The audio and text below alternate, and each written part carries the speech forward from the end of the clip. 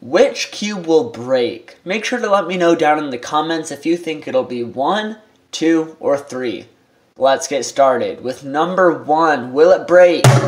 No, it will not. Sorry if you guessed that. You would have been wrong. Okay, so moving on, we'll be doing number 2, the 3 by 3 And it will not break, which leaves one cube left, that being my 2 by 2 now this will break, and that is because it does not have a core inside to keep it stable. So this happens. Please subscribe.